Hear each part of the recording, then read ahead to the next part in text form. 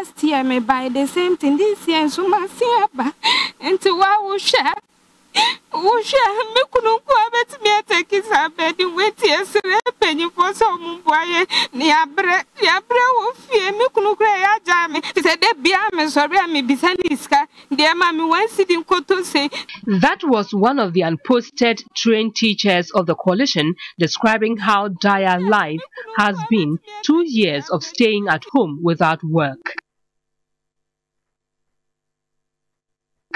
President of the Coalition of Unposted Trained Teachers, Rebecca Akosua Bawa, says the group has made numerous appeals to the GES, but that have not yielded any positive result. We simply want uh, the ministry to come to our rescue because we've stayed home for more than two years.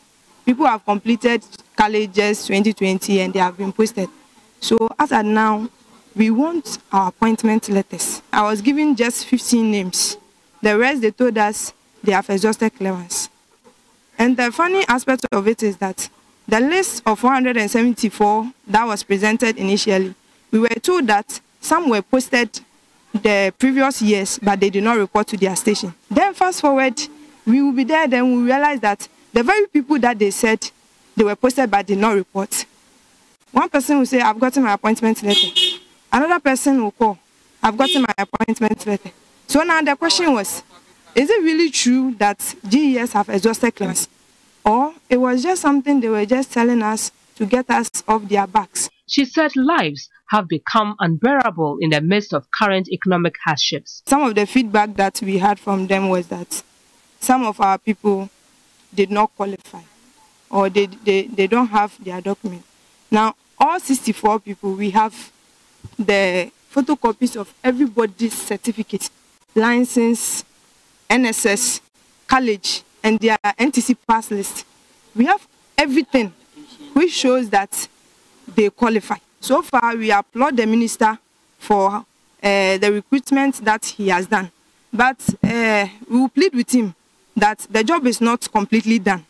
And so he should uh, come to our aid and make sure that these teachers who are also qualified, trained teachers, they are suffering. Some of them, the reason why they are come to sleep here is because they cannot bear the shame at home anymore. A married couple are having issues at home because of unemployment. Those who do not have any, any, uh, anything to do, they are just home. Their parents are fed up with them.